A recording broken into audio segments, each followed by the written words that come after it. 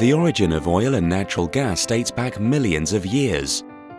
Plant, animal and microorganism sediments were buried under layers of sand and clay and over the years turned into hydrocarbon formations and reservoirs. Oil is a source of energy consisting of a hydrocarbon mixture with components that have useful and versatile physical and chemical properties, and it is used frequently in all aspects of daily life.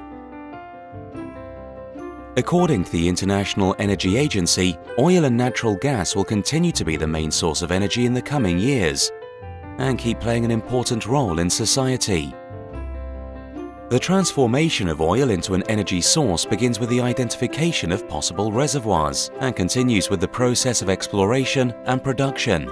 It then moves on to refining, which is the separation of components into different fractions to create the products, fuels and raw materials used in modern life. The exploration phase begins with the acquisition of mineral rights, the process and terms depend on the country where the reservoir is found, and the rights are managed according to each country's legislation.